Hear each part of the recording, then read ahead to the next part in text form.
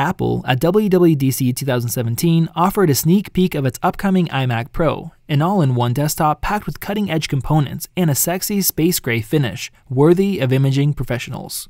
While the pictures don't do it justice, the iMac Pro is a beautiful machine in person. The space gray aluminum and matching matte wireless keyboard mate well with a special black Magic Mouse 2 and Magic Trackpad 2. Along with the dark finish, iMac Pro differentiates itself from the regular iMac series with expanded port options. Along with the usual SD card reader and four USB 3.0 ports, the iMac Pro comes with four Thunderbolt 3 ports and 10 gigabit Ethernet. While the chassis remains largely unchanged, Apple did incorporate a long vent on the bottom portion of the rear casing. The slot facilitates airflow from iMac Pro's twin centrifugal fans, which allows for an 80% increase in system thermal capacity from past iMac models. This means iMac Pro can handle more power, 500 watts to be exact.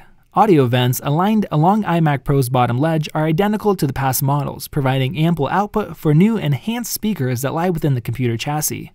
Hidden beneath its aluminum skin, iMac Pro boasts Intel Xeon processors with configuration options reaching up to 18 cores.